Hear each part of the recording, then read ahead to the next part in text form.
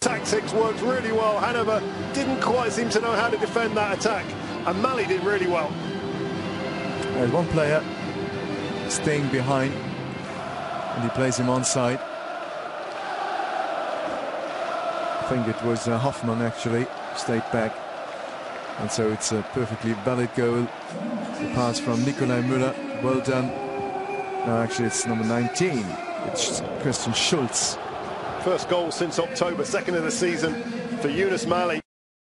Well, they're going to enjoy carnival time tonight. It's 2-0 Mainz. Yeah, it's a great goal, especially I thought he would play to the left here, but it's well done. It's a perfect triangle, and it could just be about offside, to be fair. Well, it was a good call on your part, though, Andreas. The second couple of seconds after he said he was the best player on the pitch, but hadn't scored, well, he put that right. But good work from Koo, because I think some of us thinking he's delayed too long, but made the right ball.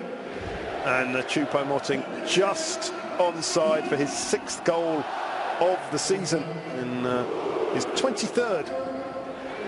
And they've all come from inside the box. He's this impact player, but he also, what I said before, he